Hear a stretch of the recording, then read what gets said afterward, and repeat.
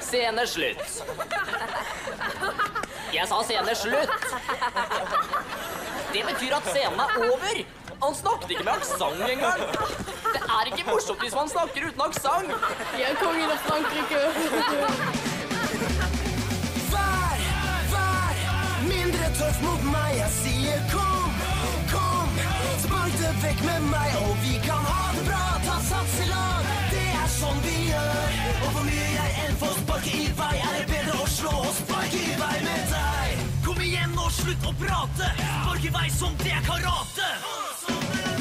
Vær, vær mindre tøff mot meg. Jeg sier kom, kom. Spark det vekk med meg, og vi kan ha det bra. Ta sats i lag, det er sånn vi gjør. Og hvor mye jeg enn får sparke i vei, er det bedre å slå og sparke i vei med deg.